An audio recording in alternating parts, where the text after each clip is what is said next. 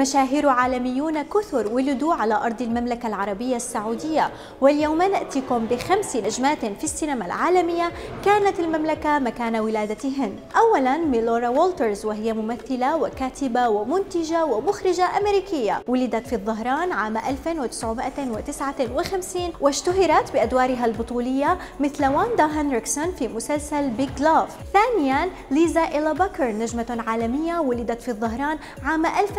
1956 ظهرت ببرامج تلفزيونية في الخمسينيات والستينيات ثم حصلت على الدور الذي اشتهرت به جيني سامرز في Beverly Hills Cop ثالثا أليكس إيسو ممثلة كندية ظهرت في أفلام الرعب وهي من مواليد الظهران عام 1992 لعبت دورها الرئيسي الأول في فيلم الرعب الأمريكي Starry Eyes عام 2014 رابعا آشلي كومينغز ولدت عام 1992 في جدة واشتهرت بفيلمي Hounds of Love عام 2016 و The Goldfinch عام 2019 خامسا وأخيرا تيجاسوي براكاش ولدت الممثلة الهندية عام 1993 في جدة واشتهرت بأدائها في مسلسل ورقيني جودين ريشتون كيسور عام 2016